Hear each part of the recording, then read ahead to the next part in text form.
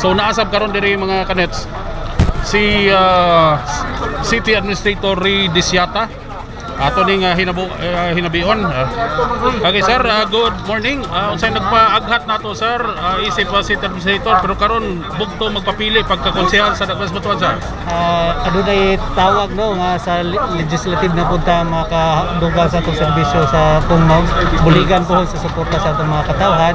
Uh, mapadayon na to atong mga programa nga nasugdan sa atong mayor pinaagi na sa atong uh, pagpanday o mga balaod in support sa atong mga vision o vision sa maong uh, kamanduan or kanilang bando sa atong mayor Roy Lagdada? Sir ah, kung ikaw mahimo ng konsehal sir unsay uh, priority nimo nga himuon isip usa ka konsehal sa syudad?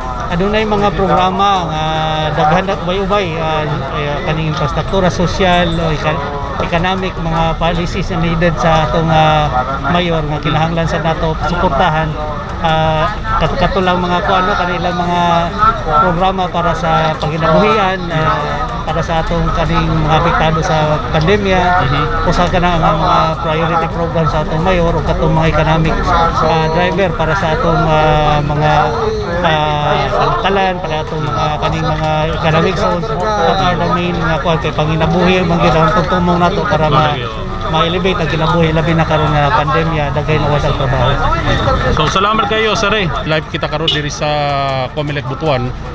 Uh, kunin ato karong uh, masaksihan no, ang uh, pag-file sa mga kandidato sa One Butuan no sa Team RCL kung di na karon uh, naginahina na og uh, pagpangabot ang gini mga buot nga muduso no sa ilang certificate of uh, candidacy uh, diri mismo sa Comelec Butuan. So naasab no ni abot na si uh, Victor Plaza, uh, buotosan nga mo papili pagka konsehal sa Dakbayan sa Butuan. Sir, good morning sir. Good morning. Oh, so ato mahinabi sir si uh, Sir Victor Plaza usa sa mga magpapili pagka konsehal sa Dakbayan sa Butuan sir. Unsay na pag nagpaaghat ka nato sir nga magpapili pagka konsehal sa Butuan. Ah, um, uh, giistoryahan man ko ni Mayor Mhm. na pwede kahit tulo may mo graduate, Mhm. pwede daw po makakonsihal. So, ako, sige. Mhm. Um, eventually, of course, I, I told the mayor na mag-istorya sa ako sa akong pamilya. Mhm. sa akong asawa, sa akong anak. So, murag wa may problema. So, ni-decide kung kuyog kang Ronnie, kang mayor. Sir, kung uh, galing makadaog na sir, unsay una natong mahimong uh, agenda o programa nga himuon sa konseho dili sa Butuan sir. Ah, ang ah, storya naman ni mayor, kay gusto, ang gusto niyang itasking sa ako, maghimog study kay mo butang og pier di sa Masaw Mhm. International Port. Mhm. So, ah, sa akong pagsabot, murag ka na ang iyang pa mission niya sa ako. So, okay ko. Mhm. So dako kay ning hagit para sa imo sir ha. Yes. kay kinahanglan na estudyohan paghimo og pier kay mangutang man tag bangko. Mhm. So estudyohan na to na nya i-defend na sa konseho. I-present ug i-defend. Mhm. So mao ra na sir kay medyo Ah. uwan Oh, man. lagi, oh, kasi pwede- salamat kayo sir ah, Victor ha Ah, sir. ah. Okay, uh, tuluman kabuk ang bago karon nga mga uh, nahidugang no sa Team RCL or One Butuan. So nakaroon din sa ato ang kining karon si uh, Dr. uh, Edward uh, Gonzales. Uh, kanhi kining uh, Regional Vice President sa PhilHealth nga karon sa no ah, ni uh, usab sa panawagan ni Mayor RCL nga kauban niya sa maong grupo. So atong siguro ning interview uh, Doc, Doc, good morning Doc. Okay Doc, si uh, Dr. uh, Edward uh, Gonzales uh, sa pagpapili pagka konsehal. Doc, unsay uh, nagpaaghat ka nato nga mupapili ta pagka konsehal sa Butuan?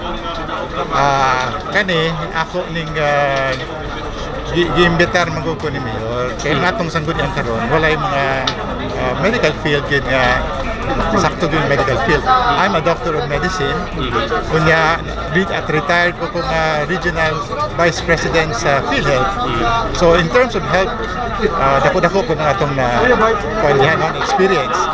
So sa akong pagtanaw, wapo ang programa ni Mayor sa sa health pero dili man di ma-implementar kung wala tayong mga balaod nga mo implementar niya ni. So niingon si Mayor nga tabangi ko niya ni. So di man takabalibad lagi kay retire naman ko. So, ako ko'y buhaton. So, siguro, siguro mo ni ang atong calling na maabot ang panahon, ang end of the day, kinsa man ta hinumdumon sa katawhan. Di ba? Ako nakatabang diri tungod sa ako isip uh, regional vice president sa PhilHealth. Pero mas dako-dako siguro ako matabang kung sa syudad mismo sa Butuan nga akong uh, yutang gitawan atong matabangan yun. No? Dok, ah, if ah, ever no, palaron ta nga mo makaingkot isip uh, konsehal unsay pinakauna na to or atong priority nga programa ah, nga muhaom sa katawhan sa sa Butuan. Of course, ato ning ah, i-evaluate na kung otro ang kani atong response sa COVID mo man ni atong problema karon no. Ah, di naman ta maka limod niya na nga kaning COVID magpabi magpabilin kini sa ato may dugay-dugay pa. So ang atong response uh, tanaw nato i-evaluate nato ang atong medical center uh, na ko nga medyo dagandagan kong problema diha atong tanawon kung siya atong mabuhat no kay di man ta kasulti nga ang ilang gibuhat sayop pero basin og kulang lang og ayuda no so ato nang ah, i-evaluate din na nga aspeto pero natay dako nga misyon niya na ang pag-implementer sa universal healthcare law Okay. okay. Salamat kay Doc no sa imong oras Doc. Thank you kayo. Okay, so uh, mo to si uh, Dr. uh, Edward uh, uh, Gonzales no. Uh, kini kanhi kining uh, Regional Vice President no sa PhilHealth.